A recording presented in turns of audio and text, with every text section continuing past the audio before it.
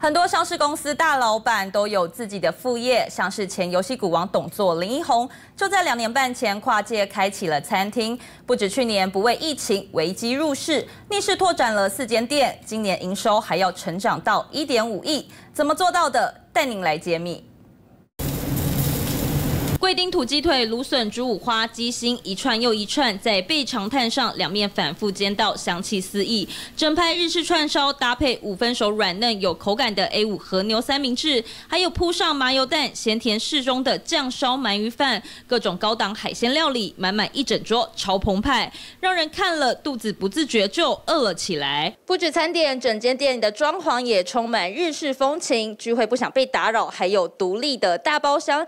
开幕不到一个月呢，营收就冲到两百万。其实背后的老板大有来头。这一道呢是我研发出来的新菜色，黑尾鱼泥加上鱼子酱加上金箔，外面用最中饼。满意的介绍着自己研发菜色，他是前游戏股王，现任电子支付公司董座林一宏。不为去年疫情重击了餐饮业，他逆势一口气将旗下餐饮品牌拓展了四间店，目前店数已有七间。平均来说，一家店的营收在三百万左右。那疫情严重的时候，大概只能够做到。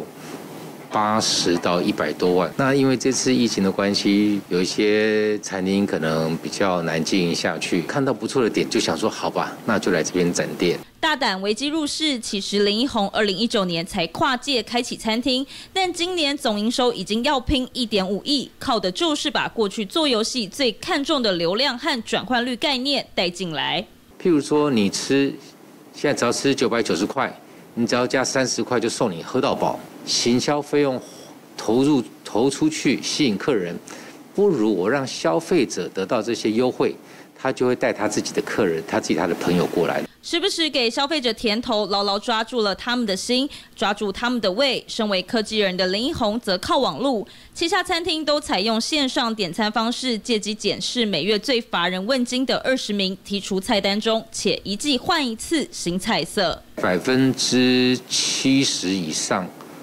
都是线上定位，所以我今天要准备多少的食材，都可以从定位来看，就不会有食材的浪费。其实林一红本身也是个不折不扣的吃货美食家，但谈起为何开餐厅，却笑说是误打误撞。我常去吃，然后就认识了老板，很好，好几年。